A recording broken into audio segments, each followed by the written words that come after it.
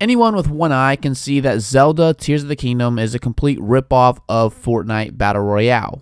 Are you having a laugh? Are you having a laugh? But hey, what's going on guys? Today we're going to be looking at another game review or critique or whatever you want to call it.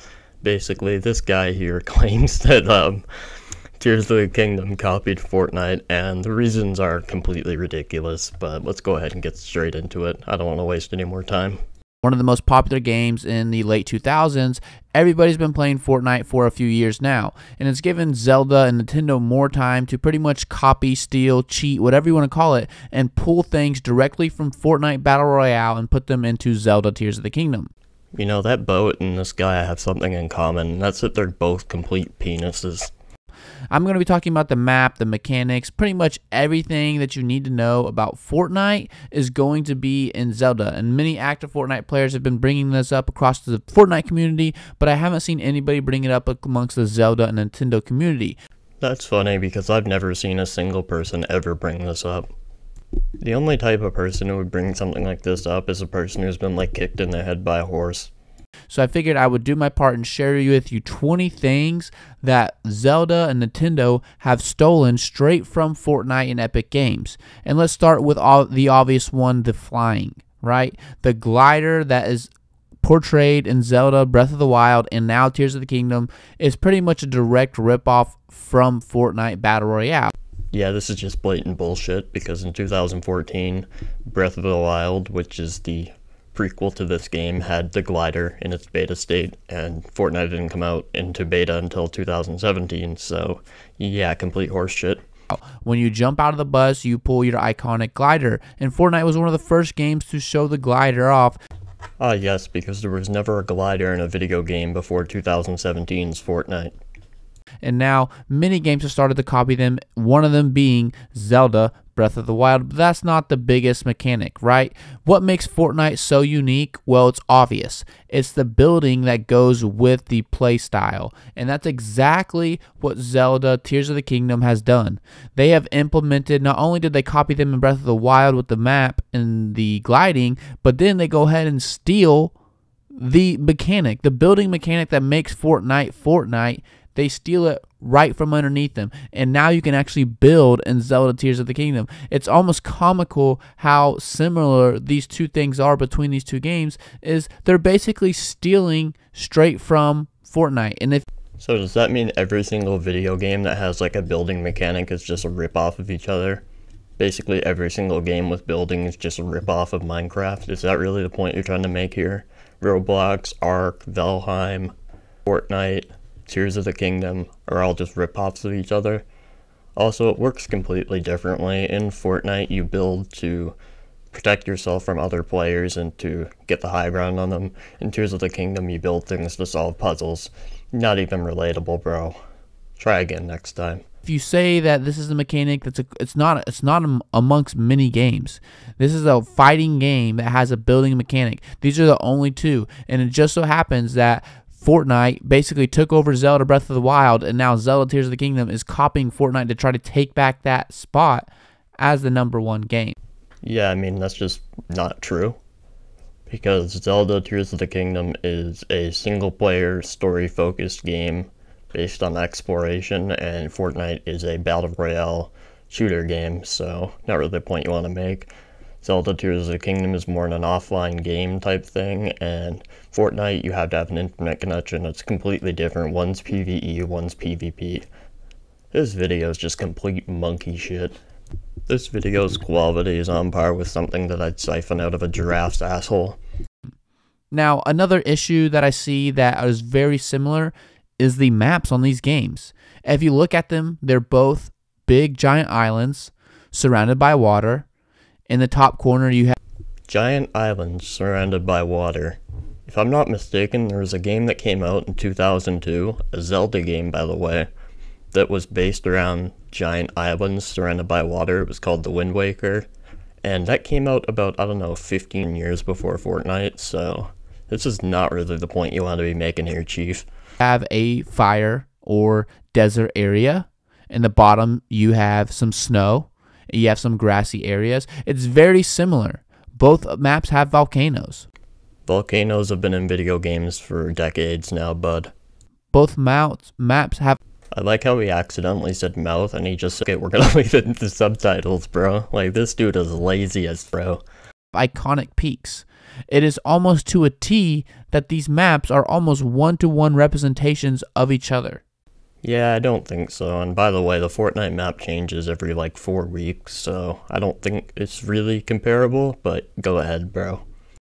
Now, that's just the first three issues. And guys, there's 17 more issues that come along with this game. And it's almost insane that Nintendo is not being sued by Epic Games by this yet because we know Epic Games did sue Apple for not being in the App Store. Now, I'm not a legal advice, I'm not a paralegal, I'm not an attorney. The reason uh, Apple was beefing with Epic is because of, uh, I think it was like a 30% fee that one of the uh, participants were not willing to pay, and it had nothing to do with the games being similar. Plus, one's a fucking cell phone company and one's a video game. How is this comparable at all? I'm not a lawyer. So if there's a Nintendo rep watching this, the Epic Games rep watching this, I just want to make this clear. I'm not giving any advice. I'm not saying anybody should sue anybody. I'm just simply pointing out the similarities that I see amongst these things. Now, obviously, the combat is combat. Yes, indeed, the combat is very combat. You can both shoot arrows. Both games, Fortnite has arrows, Zelda has arrows. Yeah, and the Ocarina of Time, which was released in like 1990 something, also had arrows. Does that mean Fortnite copied that game? Fortnite has pickaxes and swords. Obviously, Zelda has swords. And Zelda has had swords before the 2000s, so once again, it's just not going to work, man. And obviously, as Zelda, you have to switch weapons and upgrade weapons just like you do in Fortnite. There are different variations of the weapons green, blue, purple, and gold.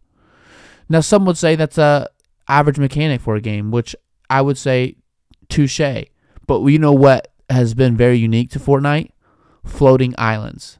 Meet Kevin. Ah, yes, because there were never floating islands in video games before Fortnite. If I could recall, I remember the original, like, Super Mario Brothers having fucking floating islands. Kevin, the floating island in the Fortnite game is iconic. It's one of the key locations of the game. I mean, not anymore, and it hasn't been here since like 2018, so. And of course, Zelda Tears of the Kingdom, first off, they don't have any floating things. And then the next season or the next game, they just have floating things everywhere. He just put a picture of the Legend of Zelda Skyward Sword's floating island from 2012 to try to prove his point. Like Fortnite has been having floating islands, been having floating points of interest, and now it's just now that Zelda Tears of the Kingdom is bringing that in because Zelda Tears of the Kingdom is trying to copy Fortnite. When Fortnite has these abilities that you can eat things and start to float, now Zelda has these things where they just float in the sky. It's just very oddly peculiar to me that not only have we never seen this in the game before, but once we see it in Fortnite, then it starts popping up everywhere else. Funny, once again, considering there was a game in 2012 called the uh, Sky Word Sword. Now, another thing that I see so similar with this game, as you know, the mechanic with Fortnite is a storm closes in on you. And if you've ever played Breath of the Wild, you know it's storming all the time. It's almost it's it's so ironically close that it's not ironic and that the storms in both there are storms in both games. Now that's 10, right? That's 10 because a circle collapsing in on you called a storm and a fucking thunderstorm are the same thing, am I right? 10 things. And just after those 10 points, you would say, wow. You know what? He's right about this. I am saying wow. I'm, I'm amazed at how shit this video is. I mean, my videos are shit too, but they're not this shit. This guy has a point. And these next 10 these next 10 points are going to be more insane. They're going to be, they're literally going to blow your mind. Obviously, let's start with maybe the most obvious one of both. In Fortnite, it is just a battle royale. There is no story. Zelda Breath of the Wild, there is no story.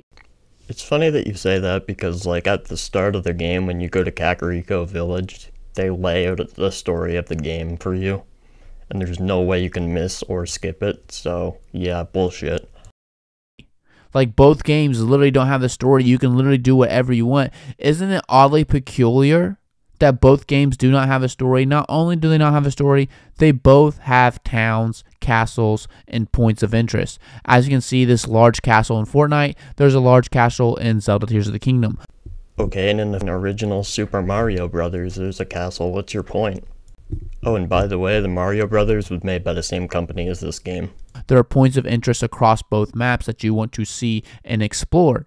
Now, some people would say that's similar, but not the same. Uh, so let's just uh, let's just look back at gaming history. There was never a point before 2017's Fortnite where you could explore. But what about the Beast? Look at the Beast between Fortnite and Zelda Tears of the Kingdom. They're almost the same. Now this, I'm I'm not even joking. Like this right here. Look at this. Fortnite rock family. And then what do you see in Zelda Breath of the Wild? Rock enemies. Bro, come on. I mean how how how how Today, Junior. As for his point, Today, Junior. Uh, how can you just steal enemies from Fortnite and put them in Zelda Tears of the Kingdom? It's it's almost unfathomable that they're getting away with this. Also, you can destroy things in Fortnite. You can cut down trees in Zelda Tears of the Kingdom. yeah, but in Fortnite you're using it to get resources to help you in PvP battles. In Tears of the Kingdom you're using it to get wood for a campfire. In Fortnite, you can literally go anywhere. You have free rein. So do you in Zelda.